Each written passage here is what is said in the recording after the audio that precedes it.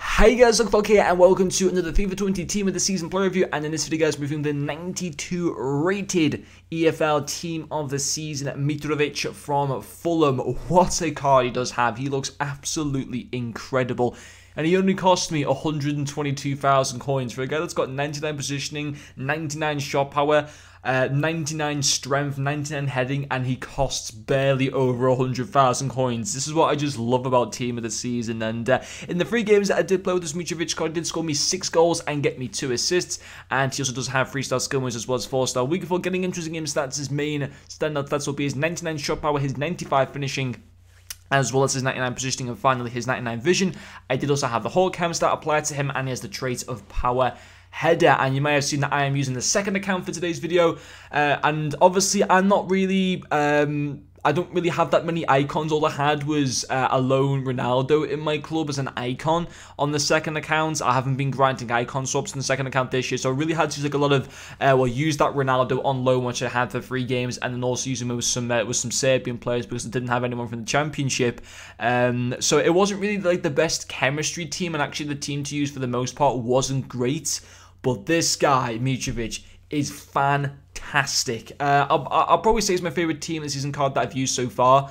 Uh, certainly as a striker. I mean, I did review the Watkins SBC card yesterday, which was kind of a fun card, but not uh, not you know not the best value for money, not the best cards in the game. Is 65 composure really lets him down as three star. Three star obviously isn't great. Uh, the SBC Mauro Icardi is very good. I did like him, but Mitrovic is better than you know than Icardi. As good as Icardi is, and obviously Icardi is a lot more easy to link in with Mitrovic. But you know you can easily get. I'm sure if you've been grinding the icon swaps, you can easily get Mitrovic to, to eight chemistry. You know, like get him with like maybe one or two icons, and you know, or even just one icon or whatever. Get like a Serbian manager to, to at least get him onto like eight chemistry or whatever. And he's a really really fun card. I mean, some of his stats are just up there with the best in the game, and obviously he is from the championship and stuff. But if you get him in your guaranteed EFL team of the season pack, which I'm sure they'll probably do at some point in like the form of an SBC, maybe even today, who knows? Uh, if you get him in your FUT champion rewards, I'd love to get him in FUT champion rewards. I want him Gomez, uh, Liverpool centre back Gomez, or Grimaldo the most from the uh, from the upcoming uh, weekend league rewards. Where I, oh, I will be finishing silver one, and that which is uh, I'm happy just to finish in silver one. I'll definitely take that any day of the week. But um, his first is going to have to be his finishing up there with the best. Up there with the very, very best. He's up there with the prime icon moments. He's up there with the Johan Cruyff 96 card that I've got, who I've played nearly 200 games with now he, he, he, rivals that cards in terms of like finishing wise stats. He rivals the likes of the Hernan Crespos that I've been using for so long. I'll tell you guys right now, he is the real deal. He really is. 99 position, 95 finishing that Hawk chem style takes his finishing up to 99. The 99 shot power. He drives that ball past the goalkeeper big time when they just don't have a chance in the world to be able to save some of his shots. His volleys go to 99 as well. He's only got 84 long shots, but that's still fine. I think some of his goals might have come from out uh, from like the edge of the box and stuff, but um, deadly in front of goal. Very, very clinical. Six goals in the three games.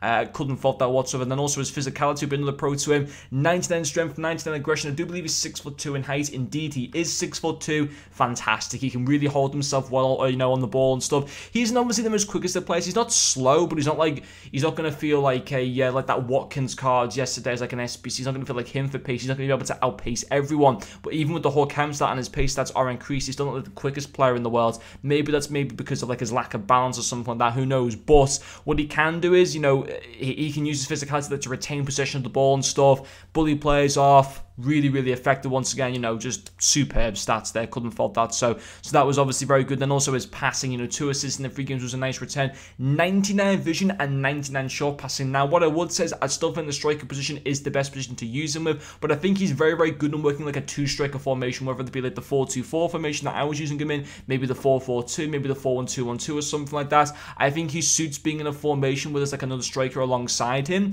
and, you know, to get that really, really good uh, vision and like short passing it, you know, get some good use out of them. I just think he suits probably being played in a, in a two-man striker formation, but uh, but that was also really good. Uh, his dribbling I won't put down as like a major pro to him because he does feel, I say he feels clunky.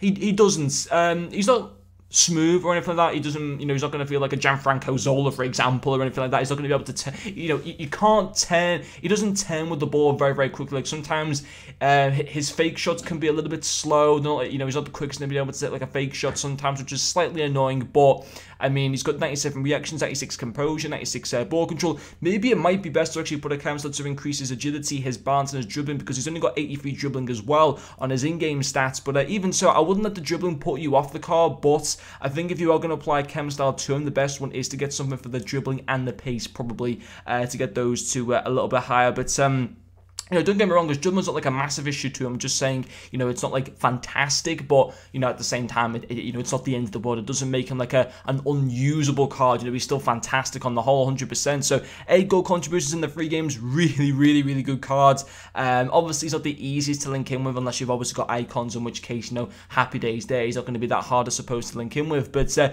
really good card. I enjoyed him, and I'd love to get him on my FUT Champ rewards uh, this coming Thursday. Whether I will or not, I don't know. But I mean, 92 rated. I, I think the card is fantastic, and I think he, he's even worth buying off the market at, uh, at his current price as well. I think you can't complain with his price. I think he's a top, top player. But anyway, guys, thank you very much for watching this video, and I'll see you guys later.